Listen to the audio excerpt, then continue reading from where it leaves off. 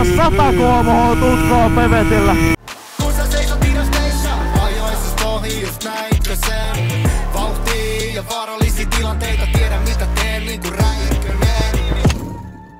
Äänien kanssa taas oli vähän ongelmia. Katsotaan nyt toisella vedolla. Ekalla vedolla meni siis tosiaan kaverin RM80 tota, pevetti, niin 102 kmh tutkaan, eli yli 100 pevetillä, mutta jostain syystä ääniraitaa ei ollut. Eli katsotaan nyt sitten, sitten että josko saisi nyt toisella vedolla sitten taltioitua tämän kauniin äänimaailmankin tästä laitteesta. Eli katsotaan, että josko se sanoo sitten jotain. Täällä PV-foorumin vauhtipäivällä vuosimalli 2203 on ollut kyllä erittäin hyvä, hyvä meininki ja porukkaa hyvin ja vaikka keliä vähän pelättiinkin, niin keli on ollut kyllä tosi hyvä.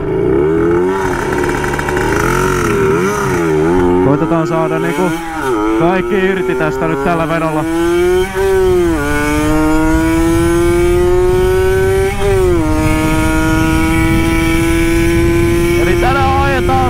100 kmh tutkoa pevetillä.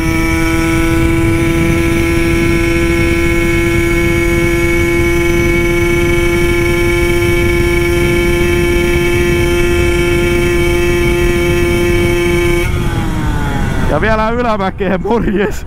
Huhhuh. Kyllä on aikamoista touhua, mä voin sanoa. Voin sanoa, että kyllä tässä heikkoa hirvittää. Katsotaan mitä se näyttää se tutka tulos.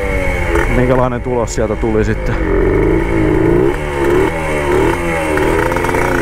104 kmh. Tavoitteeseen päästy eli silloin pari vuotta sitten vai olikohan se kaksi vuotta sitten vai kolme vuotta sitten, en muista. Niin ajoin tällä samalla mopolla 104 kmh, mikä tuli nyttenkin.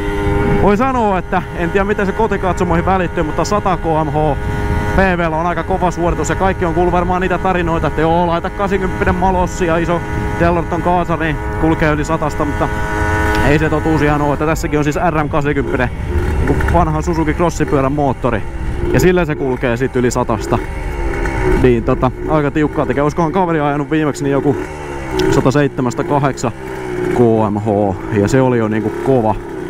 Ja ekalla vedolla mä vedin 102 ja nyt 104, niin tohon voi olla varsin tyytyväinen. Eli nyt kun vehkeet on vielä ehjänä, niin käydään viemässä nyt tässä vaiheessa sitten pois ennen kuin, ennen kuin rikotaan sen enempää, enempää tätä laitetta.